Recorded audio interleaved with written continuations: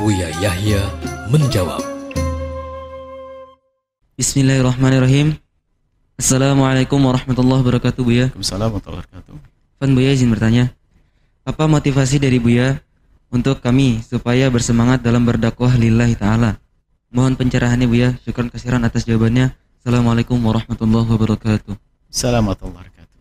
Ada nanti insya Allah ikut kajian motivasi dakwah Bu ya.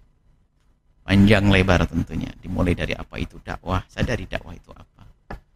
Kemudian siapa yang tugas berdakwah. Kemudian apa itu prinsip dakwah. Kemudian kendala dakwah. Kemudian langkah-langkah dakwah.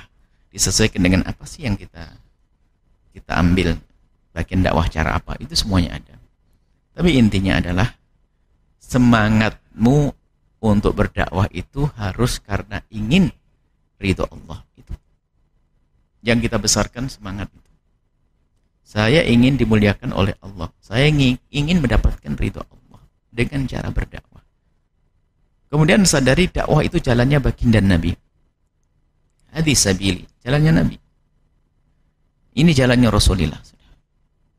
Lah kalau ini ada di otak kita dan di hati kita, di otakmu dan di hatimu, semangat ini, maka jadi apa pun pasti berdakwah.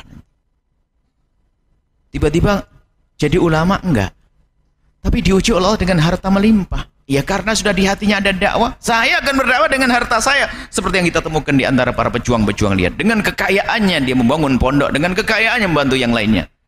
Nah ini, intinya itu dalam hati anda semangat. Jadi kemudian dakwah itu jangan dipandang dalam satu model ceramah di mimbar saja. Oh bukan. Masih banyak cara dakwah. Dakwah itu intinya. Kan? Makanya kembali kita harus kembali pada motivasi dakwah yang kami hadirkan. Dakwah itu apa? Dakwah itu adalah membawa umat kepada Allah.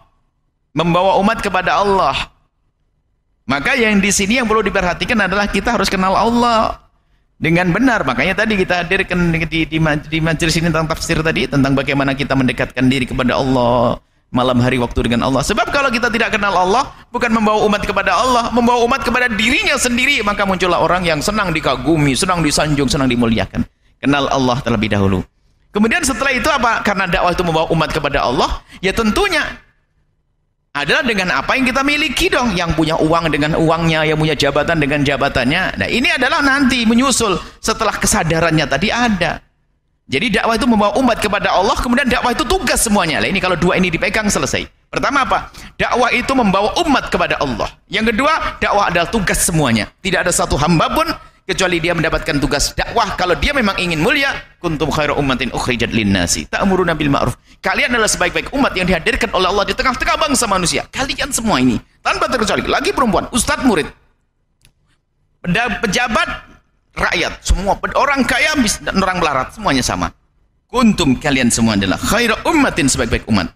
Nah, kalau kita ingin menjadi sebaik-baik umat yang dihadirkan oleh Allah di tengah-tengah bangsa manusia, maka harus mengambil bagian dakwah tadi ta'muruna bil ma'ruf wa tanhauna munkar. Maka seperti itu. Jadi prinsipnya dulu kenal Allah tadi. Selesai. Setelah itu jadi apa pun pasti akan untuk ber, berdakwah. Allah alam bisawab.